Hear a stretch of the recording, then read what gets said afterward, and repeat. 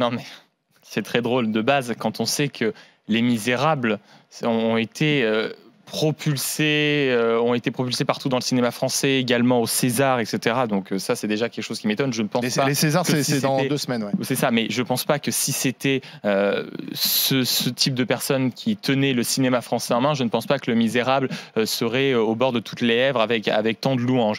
Ensuite, je suis un peu lassé en permanence de voir des acteurs, actrices passer plus de temps à signer des tribunes et à faire des commentaires sur la vie du cinéma plutôt qu'à faire des films, qui est normalement leur métier. Et enfin, je suis aussi un peu énervé de cette hypocrisie permanente dans le cinéma. On voit maintenant partout, sur tous les plateaux, dans tous les grands journaux, dans plein de tribunes, des femmes qui disent Ah oui, mais, mais regardez le scandale sexuel et tout, mais on les soutient.